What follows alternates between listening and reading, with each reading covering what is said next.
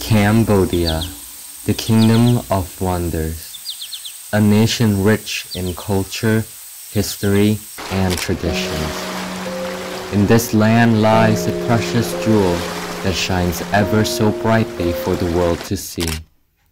Standing tall in all its glorious form, Angkor Wat is the world's biggest religious temple located in Siem Reap, Cambodia. It is the symbol, pride, and jewel of Cambodia.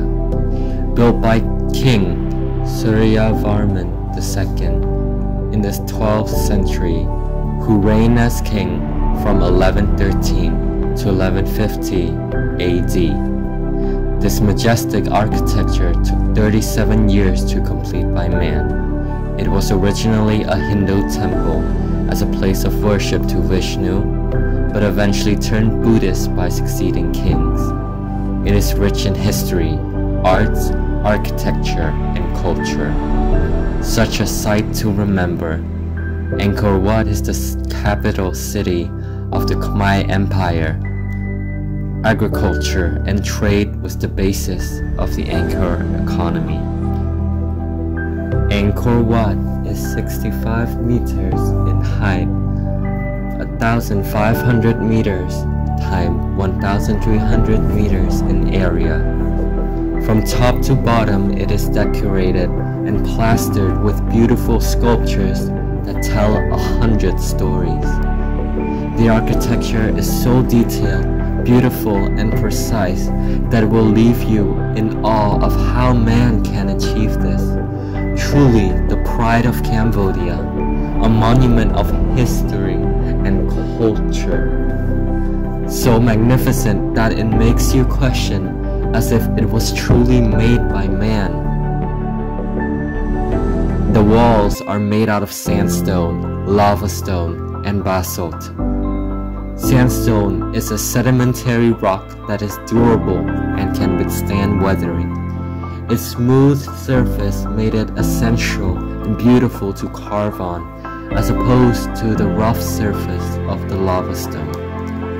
The lava stone or laterite is used for protective walls around Angkor to give structure to the temple. There are channels of water surrounding Angkor Wat that are 1.5 meters deep.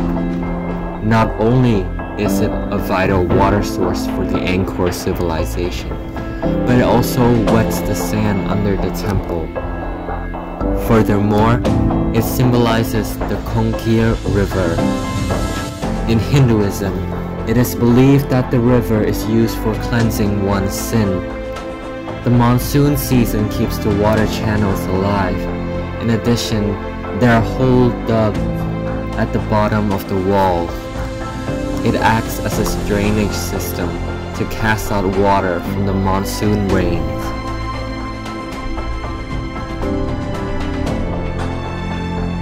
Look at these beautiful carvings. They are very detailed and depict stories of Hinduism. The people back then used chisel hammers to sculpt on the wall by hand. It must have taken lots of patience and precision. Mistakes in carvings were taken out and replaced by a new one. There are bullets scraping the temple walls due to wars. The five towers of Angkor Wat represent the peaks of the Meru mountain, which is an important location for the deities, home of the gods you may say. They go there to meditate. At the courtyards of Angkor, there are libraries or chambers where people can come in and read important information before entering Angkor temple to worship. But such an intelligent civilization fell to wars, both civil and foreign, and greed plays a major part as well. With such an amazing structure comes lots of tourists. In the present day, Angkor Wat allows tourism to be one of the major incomes of Cambodia It helps increase the economy of Cambodia, provide opportunities and jobs for locals, creates the incentive to protect and preserve natural environment and valuable landmarks, promote Cambodia's culture, food traditions, and history, helping others to recognize Cambodia on the map. However, it comes with a negative side too. The ecology of Angkor Wat suffers. Loud noises disturb the animal's habitat, and carbon emissions and footprints from cars causes air pollution. Unmannered tourists who carve their initials and messages into the delicate Angkor walls destroy meaningful pieces precious carvings and damaging the architecture and stealing precious artifacts. Aside from Angkor Wat, there are many things to explore in Siem Reap, like the Bayon Temple, the Ta Prohm Temple, Angkor Eyes, the Siem Reap Aquarium, Safari, and more. Angkor Wat is truly the pride symbol and jewel of Cambodia, a time capsule of Cambodia's history and legacy. However, things don't last forever.